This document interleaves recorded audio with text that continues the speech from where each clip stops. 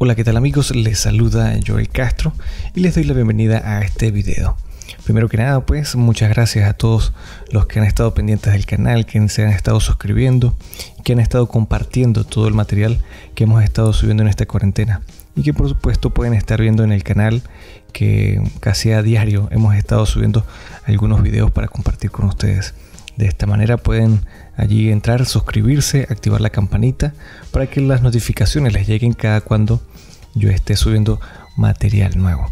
En esta oportunidad pues habré querido montar este pequeño tutorial, no curso, un tutorial, es algo muy diferente acerca de eh, lo que es eh, la grabación y la edición en pre-post de la Adobe Audition. Este, porque muchos compañeros, muchas amistades me han estado solicitando que suba un tutorial de cómo descargar un programa que nos permita hacer podcasts, que nos permita editar, que nos permita grabar. Y bueno, en esta oportunidad pues quería mostrarles que hay realmente eh, muchísimas páginas en las que ustedes pueden subir material que hayan grabado desde casa, con el cual pueden entretenerse, pueden entretener a los demás y bueno, pueden estar allí ocupados.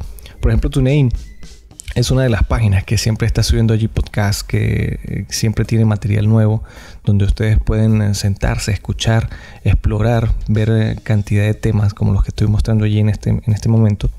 Hay una infinidad de temas y material con los que ustedes pueden jugar. Pueden escuchar, pueden entretenerse y pueden ir aprendiendo. Entonces, ven, uno de los software que yo utilizo para la grabación de podcast, para la edición, es Adobe Audition. ¿ok? es, para mí es, en mi criterio es uno de los más potentes.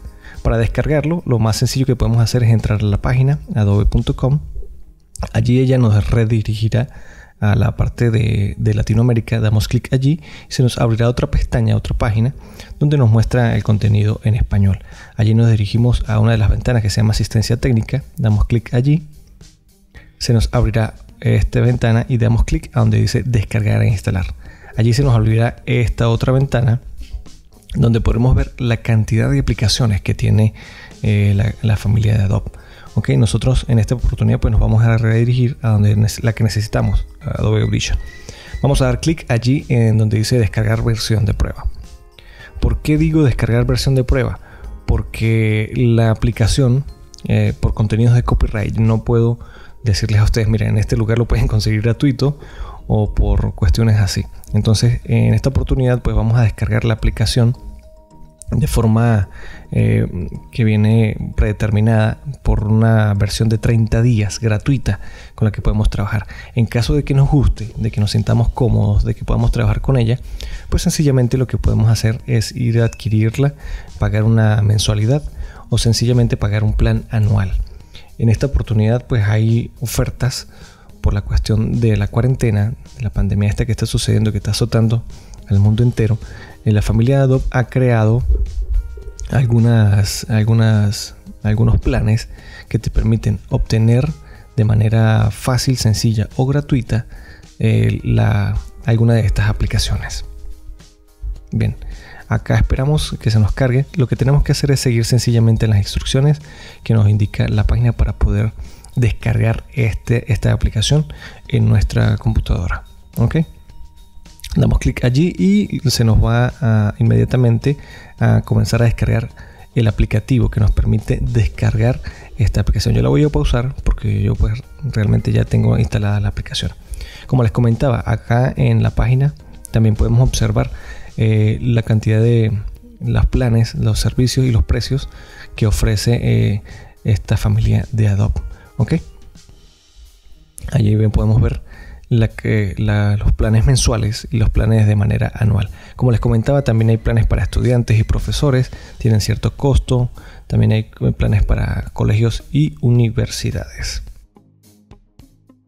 Bien, acá podemos ver también los requisitos que nos solicita el sistema de Audition para poder instalarlo en nuestra computadora.